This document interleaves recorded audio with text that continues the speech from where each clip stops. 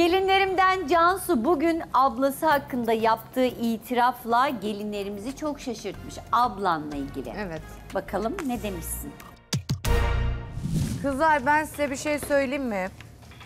Benim bununla alakalı dehşet bir burukluğum vardır. Benim e, abla demek istemiyorum. Annemle babamın çocuğu. Öyle deme ama. öyle Aynen deme. öyle. Yo bunu gerçekten söylemek istediğim Özlem için Bağ'dan mı söylüyorum. bahsediyorsun sen? Abla demek istemiyorum. Bence abla e, vesaire kelimeler hak eden insanlara söylenmeli. Aa, Benim düğünümde yoktu. aa, Niye ben gelmedi? evimi tuttuğumda bana e, çok uzaktan akrabalarım yardımcı olurken ablamı aradığımda telefonlarımı dahi açmadı. Manevi hiçbir desteğini göremedim. Senin kız kardeşin evleniyor ve sen yoksun. Arıyoruz açmıyorsun. tamam hani o dönem yaşamışsınız. Bir şeyler yaşanmış belli ki ama mesela çıksa gelse, özür dilese Size bir yumuşamaz şey söyleyeyim mi? İki cihan bir araya gelir. O benim yanıma gelemez zaten. Hep ben onun hayatında ya işte maalesef aynı evde yaşamak zorunda kaldığım biri olarak devam ettim. Ama öyle deme yani. Herkes bana ablam nerede dediğinde ben ablam yok dedim. Ay üzülme. Gelmedi kıyamam. dedim. Cansu, Ablanla nasıl bu hale geldin? Düğününe gelmeyecek kadar ne yaşamış olabilirsiniz? Sorun da orada. Geçerli bir sebep hiçbir zaman Vardır, olmadı. vardır. Yok gerçekten olmadı. Hani Olayın iki tarafı var. Yani can canının parçasından bahsediyoruz. Hani kardeş. O çok erken zaten gitti. Hiçbir zaman birbirimizi benimseyemedik. Hani abla demek bana çok garip geliyor. Annem ve babamın çocuğu. Mesela beni Aa, tanıdıklarında nasıl da sordular. cümle öyle? Hani e, kardeşlerim var mı? Annem ve babamın bir çocuğu var dedim. Yani onu oturtamadık hayatımız boyunca biz Kaç hiçbir yaş zaman. var aranızda? 9. Biraz fazla ne bileyim ablalık mı yapmadı? Onu zaten hiç görmedim. Hayatım boyunca e, ablalığa dair hiçbir hissiyatım olmadı. E ama bak burnunun direği sızlıyor orada bir sesin gitmiş. Ha, Ya bir şey o- üzüyor seni yani. Ya tabii ki ben de isterdim düğünümde ablam olsun, yanımda olsun. İnsanlar kardeşin nerede dediğinde gelmedi demek yerine sorunları vardı, gelemedi yurt dışında. Sürekli yalan söylemek zorunda kaldım. Hani hiç yanımda olması gereken ve benim bunu bir kere yaşayacağımı çok iyi biliyordu. Evet. Ne yaşadınız? Ne bir şey var ama yani düğüne gelmeme sebebi olması lazım. Ne olursa olsun gidersin. Aranız soğuk bile olsa. Ya düğünüme gelseydi sanırım eşiyle arası bozulurdu ve o yüzden kardeşini Ne demek? sildi. o? Ka- eşiyle de mi aran bozuk? Biz öyle çok iç içe birbirimizi tanıyanlar tanıyan insanlar değiliz ama e, karşı taraf bizden pek haz etmedi ve biz e, mesafeli kalmak Eşin zorunda ve kaldık. ailesinden bahsediyoruz. Evet. Yani kardeşinin ailesinden Evet, bahsediyoruz. evet. Sizin aranız iyi değil öyle mi? Değil, daima mesafeliydik. Enişten mi sorun yani? Ya kendisiydi demek ki şahısın eşiydi. E, ge- gelemedi. Kız şahsın diyorsun ablana ya. abla diyemem. Abla demem için bana bir şey vermiş olması lazım. Ay çok bana ne bileyim böyle bir şey öyle bir şey söylemen lazım ki vay haklısın diyebileyim hani hiçbir sebep de Çok geçerli Ay, işte. soğuk büyüdük diyorsun. Evet soğuk büyüdük Ee, ne alaka soğuk büyüyen insan ne bileyim Ben e, düğünümün olacağı günden bir gün önce aradım. Normalde aramazdım. Aradım. hiç konuşmuyorsunuz normalde Sıfır iletişim. Bayram, seyran. Hayır hayır kesinlikle düğün, cenaze. Doğumu oldu ablanın illa doğumuna falan da mı? O Çocuğu- zaman oradaydık. Zaten ne olduysa bir 4-5 yıldır hiçbir şekilde bizimle görüşmek istemedi. Hiçbir zamanda geçerli bir sebep bulamadık. O da bence büyük ihtimalle bulamadı. Ve sebep soracağımızı düşündüğü için hiçbir çok zaman saçma bir şey vermedi. söylüyorsun şu an ya.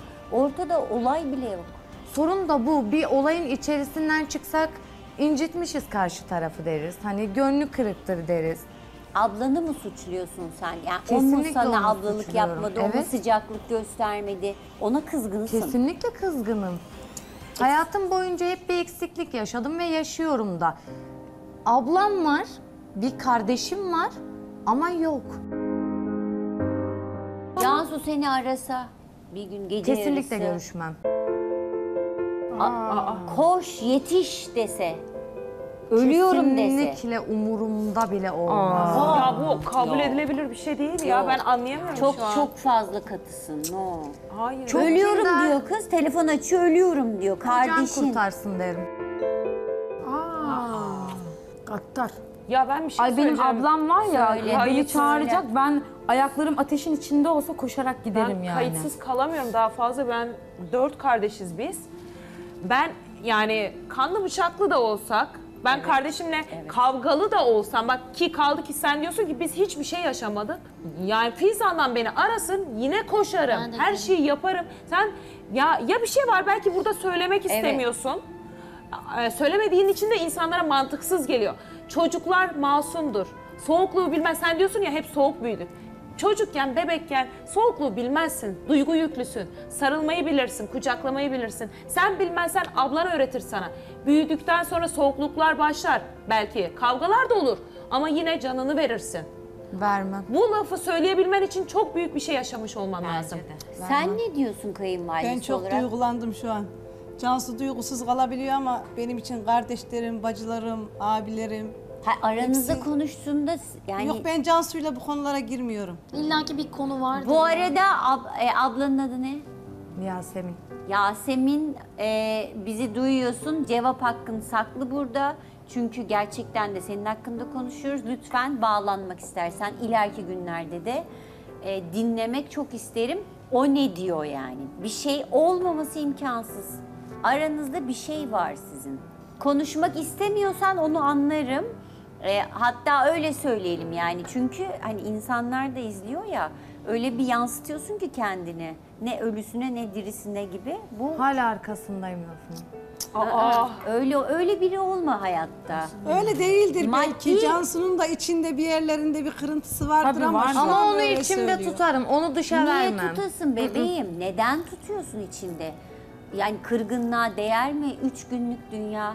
İşte üç günlük dünyada bir gün kardeşinin düğününe gelemedi.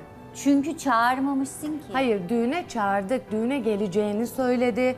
Bir hafta öncesinden ben erken geliyorum sana yardımcı olacağım. İster istemez içim kıpır kıpır ya çok güzel evleniriz. Hep birlikte eşlerimizle otururuz. Hani hayal kuruyorsun ister Annenler istemez. ne diyor bu duruma?